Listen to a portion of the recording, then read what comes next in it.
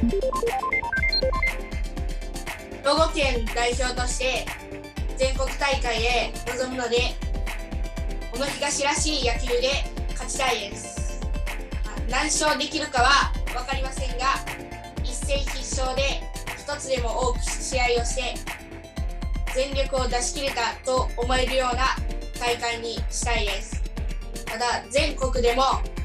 一戦一戦成長していきたいです。信頼できる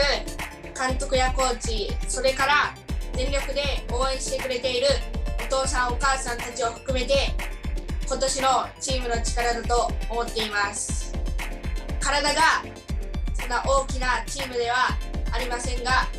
それぞれの選手が自分の役割を果たしてみんなが一つになった時の団結力はどのチームにも負けないと思っています。まあ接戦になっても粘り強く競り勝つのがチームの持ち味です。いつも応援してくれている家族やおじいちゃんおばあちゃんたちに少しでも感謝の気持ちが伝わればいいと思っています。また支援してくださった地元の皆さんにも恩返しができるような力いっぱいのプレーをしますので応援よろしくお願いします。